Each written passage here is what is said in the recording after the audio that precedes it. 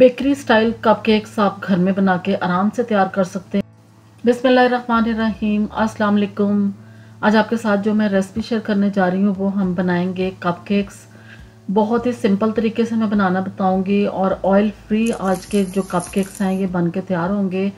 और आप इनकी सॉफ्टनेस चेक कर रहे हैं कि कितने ज़बरदस्त बनेंगे। और आपको मैं बटर मिल्क बनाना भी बताऊँगी, जो इसमें हम यूज़ करेंगे। फिर इसके ऊपर हम फ्रॉस्टिंग करेंगे और कुछ हम स्प्रिंकल्स डालेंगे तो बिल्कुल आपको ऐसे लगेगा जैसे आपने बाज़ार से बाय किए हैं। अगर आपने अभी तक मेरे चैनल को सब्सक्राइब नहीं किया तो उसे सब्सक्राइब कर लें।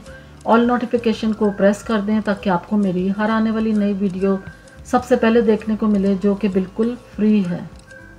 कपकेक्स बनाने के लिए सबसे पहले हम बटर मिल्क बनाएँगे, जिसके लिए मैंने एक बाउल लिया और इसमें मैंने एक कप मिल्क का डाल दिया है। और इसमें टू टेबलस्पून आपने डाल देने हैं लेमन जूस के।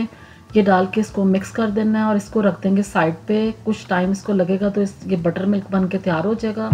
अब हम एक ड्राई बैटर तैयार करेंगे, जिसके लिए मैंने लिया है एक बाउल और इसमें मैंने दो कप भर के डाल दिए हैं मैदे के। ये डाल के इसमें वन टीस्पून हमने डालना है मीठा सोडा और वन टीस्पून ही इसमें हमने बेकिंग पाउडर डालना है। दोनों चीज़ें डाल के फिर इसमें एक कप भर के हमने डाल देना है। चॉकलेट चिप का ये डाल के इस सब बैटर को हम मिक्स करेंगे। ये ड्राई बैटर हमारा तैयार हो गया है। इसको भी अब साइड पर रखेंगे तो अब हम एक और बैटर तैयार करेंगे जिस, जिसके लिए मैंने लिया है एक बाउल और इस बाउल में अब हम डाल देंगे वन बाय वन करके दो अंडे। टू एग्स इसमें यूज़ कर रहे हैं। हम दो अंडे डालने के बाद इसके अंदर अब मैं डालूँगी शुगर जो हम एक वन कप डालेंगे और एक वन फोर कप डालेंगे। सवा कप शुगर का आपने इसमें यूज़ करना है।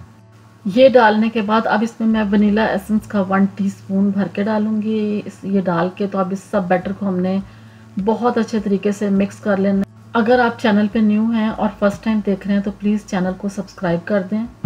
अब जब सब बैटर हम इसको मिक्स कर लेंगे अच्छे तरीके से तो फिर अब जो हमने ड्राई बैटर बना के रखा था, वो वाला बैटर लेंगे और इसमें ये सब लिक्विड वाला जो बैटर है, इसमें हमने डाल देना आज के जो कप केक्स हैं, इसमें बिल्कुल कोई भी बीटिंग का काम नहीं है। बहुत इजी वे में आप बना के तैयार कर लेंगे।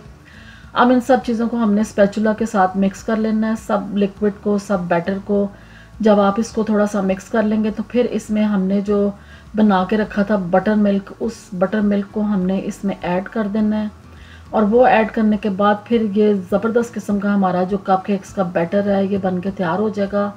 अभी आपको ये ड्राई फील हो रहा है, लेकिन जब आप इसमें बटर मिल्क ऐड करेंगे तो ये सब इक्वल हो जाएगा और ज़बरदस्त किस्म का ये जो बैटर है, इसका बन के तैयार हो जाएगा। बटर मिल्क को आप चेक कर सकते हैं कि दूध जो सा है, ये फट गया इसमें, और ये भी बहुत शानदार तरीके से बन के तैयार हो गया है। अब जब सब बैटर को मैंने मिक्स कर लिया तो इस तरीके से आपका जो बैटर है, ये बन के तैयार होना चाहिए। यही कंसिस्टेंसी होनी चाहिए तो तभी आपके कप केक्स बहुत ही ज़बरदस्त, शानदार किस्म के बन के तैयार होंगे।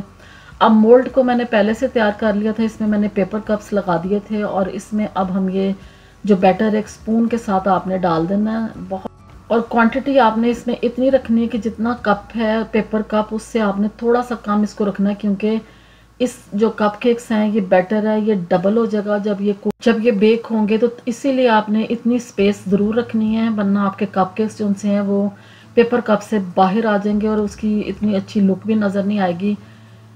अब सब बैटर हमने डाल दिया है। ओवन को मैंने पहले से प्री हीट कर लिया था 350 डिग्री के ऊपर। तो इसको अब हम बेक करेंगे। आप इसको बेक करेंगे 15 मिनट्स सिर्फ़ 15 मिनट्स लगेंगे तो ये बेक होके तैयार हो गए हैं। देखें कितनी शानदार इसकी लुक नज़र आ रही है और इतने ज़बरदस्त किस्म के ये कप केक्स बन के तैयार हुए हैं।